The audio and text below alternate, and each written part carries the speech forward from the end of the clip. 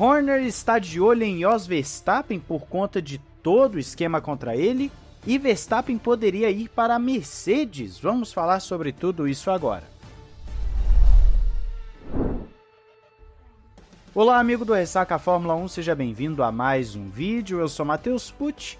Eu tô querendo matar de vez a questão do Grande Prêmio do Bahrein, mas tá difícil porque temos novidades no que diz respeito ao caso Christian Horner. E como vocês bem sabem, nós estamos acompanhando esse caso por conta do que ele pode gerar para a equipe Red Bull de Fórmula 1. A vida pessoal do Christian Horner não me interessa em nada, ele que se resolva com a esposa dele, mas a equipe Red Bull de Fórmula 1, aí sim, é de nosso interesse. Então, se você tem interesse também na equipe Red Bull, tem camiseta nova da Red Bull na Paddock BR, 100% algodão. Não esqueça de colocar o cupom RESACF1 para desconto e frete grátis. Tem de todas as equipes e pilotos, além de pistas, camisetas especiais também. Deem uma olhada lá, porque já falei para vocês de camiseta nova da Red Bull, da Ferrari.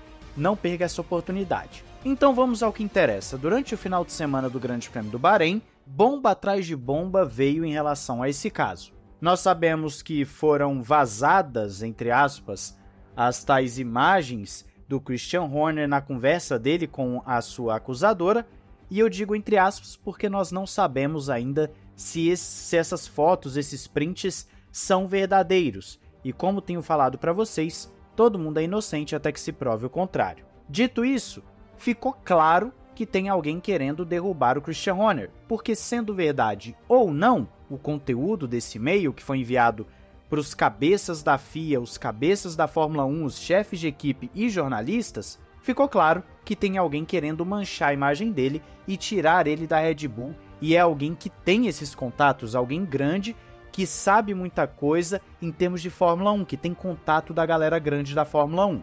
E tudo isso veio 24 horas após o anúncio da Red Bull de que Christian Horner estava inocentado porque rejeitaram a denúncia. Inclusive, alguns portais colocaram que a vítima não teria apresentado provas. Só que aí, o Jos Verstappen dá uma entrevista bombástica ao Daily Mail, vou ver se coloco o link aí para vocês embaixo, falando o seguinte: o causador do problema é o Christian Horner, enquanto ele estiver aqui, vai continuar tendo problema e está correndo o risco da equipe se despedaçar por conta dele. Então o Jos Verstappen deixou bem claro que está insatisfeito com toda essa situação, que o Christian Horner deveria renunciar, porque enquanto ele estiver ali, o ambiente não vai ficar legal. E inclusive, ele adiciona falando que o que importa para ele é o bem-estar do Max, é ter um bom ambiente para o Max trabalhar, para que ele possa focar única e exclusivamente em pilotagem. E essa questão Max Verstappen é muito importante, porque também já tem matérias falando que o Mohamed Ben Sulayem, presidente da FIA, teria pedido ao Max Verstappen para publicamente declarar apoio ao Christian Horner, o que o Max não fez. Porém, eu li uma matéria, uma entrevista do Verstappen, em que ele fala que o Christian Horner é um excelente chefe de equipe, que eles têm conquistado muitas coisas juntos, tal, então a temporada está acontecendo normalmente para eles, ele só está focado em pilotar. Ele meio que defendeu o Christian Horner sem necessariamente falar diretamente do caso que está rolando agora na Red Bull.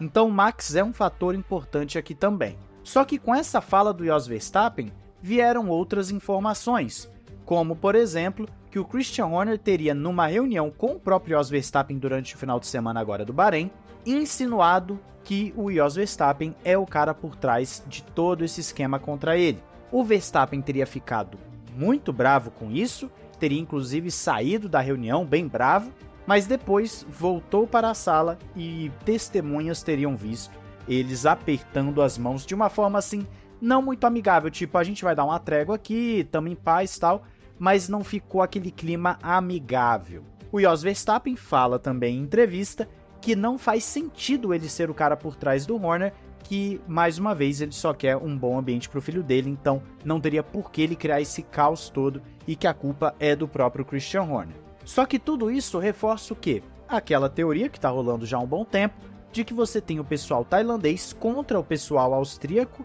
no grupo Red Bull e nessa queda de braço toda o Christian Horner seria o bode expiatório, seria o cara que eles estão utilizando para essa queda de braço. Então o Christian Horner tem sim o apoio de uma parte, que seriam os tailandeses, e o Helmut Marko, junto da família Verstappen, estaria do lado austríaco da coisa.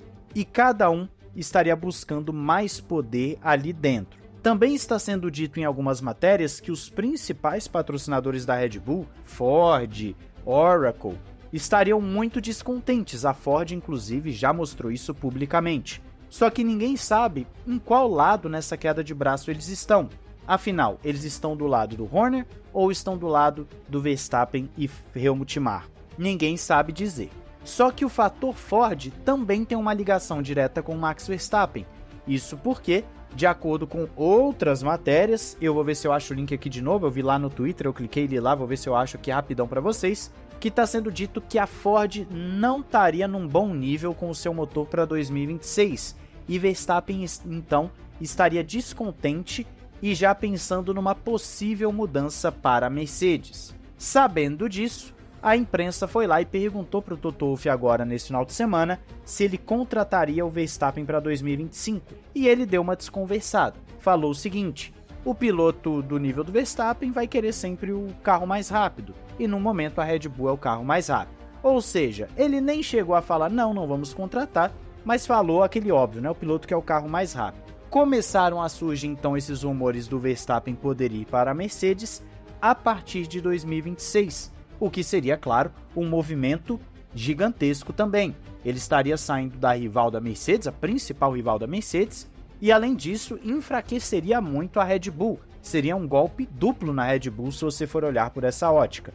Mas Verstappen saindo ou não, Ford fazendo o motor bom ou não, descontente ou não, única coisa que nós temos certeza nessa história toda é que alguém está querendo muito manchar a imagem do Christian Horner. Ele até apareceu no final de semana com a sua esposa, ela parecia até, pelo pouco que eu vi, bem à vontade, bem tranquila, mas ainda assim, nós não sabemos o que, que está acontecendo nos bastidores. Christian Horner é culpado? Não é? Qual o teor da culpa dele? O que, que ele fez? O pouco que eu li das tais mensagens vazadas não era nada demais, mas tem gente falando que leu todo o conteúdo e que você já tinha sim algumas coisas que incriminavam Christian Horner. Porque se o erro dele for ter traído a esposa, não existe motivo para Red Bull mandar ele embora.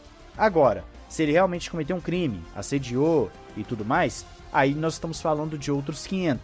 Tudo isso nós ainda não sabemos efetivamente o que que é, só sabemos que está uma situação bem curiosa lá na Red Bull, dentro das pistas dando um banho em todo mundo e fora das pistas, num caos total.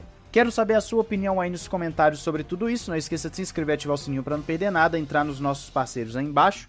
Links da Amazon tem a Instant Gaming também e a Paddock BR. Um grande abraço, valeu e falou!